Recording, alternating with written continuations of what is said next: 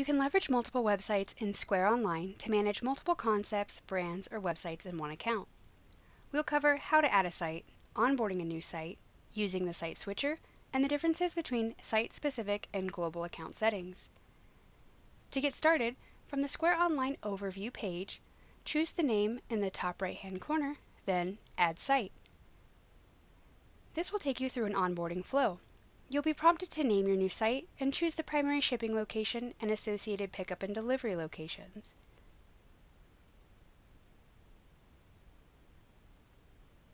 You'll then be taken back to the Overview page.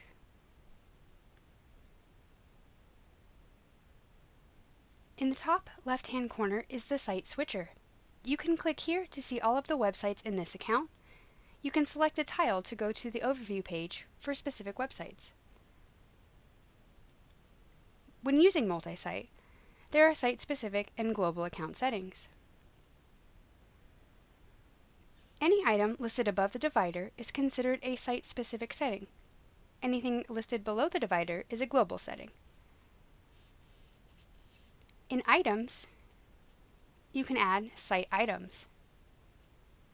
You'll be prompted to choose items from your existing item library or to create a new item. Please note that the item library is shared across all websites and is a universal item library. In this modal, you can choose the items you want to display on the site by searching or scrolling through the list and checking the boxes for the items you want.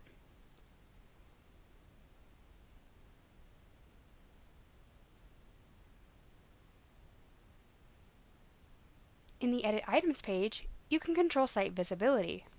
Beneath Visibility, you can see this item is set to be visible on 3 out of 8 websites. By clicking the link, you can change the websites this item is assigned to. Moving on to global settings noted under the divider.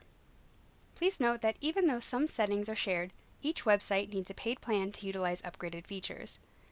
Paid plans are applied on a site-by-site -site basis. Shipping settings are shared across all websites, but you can leverage shipping location using multi-site. Here, you can edit which location you'll ship orders from for each site.